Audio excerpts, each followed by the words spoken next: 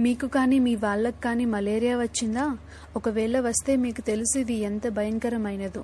ఈ రోజు నేను మనుషులకు వచ్చే మలేరియా కోసం కాదు కానీ మొక్కలకు వచ్చే మలేరియా కోసం మాట్లాడబోతున్నాను. మొక్కల యొక్క మలేరియాలో ఆకు యొక్క పై భాగం మరియు కింద భాగం ముడుచుకుపోవడాన్ని మనం చూడవచ్చు. దీనికి కారణం ఆకుపచ్చ దోమ నల్ల దోమ తామర దోమ. దీన్ని ఇంగ్లీష్లో ఎఫిడ్ జెసిడ్ ఎంట్రిప్స్ అని అంటారు.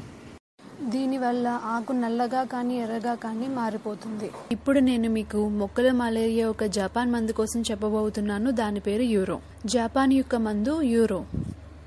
యూరోను ఉపయోగించాల్సిన విధానం యాభై గ్రాములు ఒక ఎకరానికి ఉపయోగించాలి. యూరోని మీ పంటలో ఉపయోగించడం వలన నల్లదోమ పచ్చదోమ మరియు తామరదోమ లాంటి పురుగులు అంతమవుతాయి. వచ్చేసింది మొక్కలకు వచ్చే మలేరియాకు మందు. పేరు తప్పక గుర్తుపెట్టుకోండి యూరో.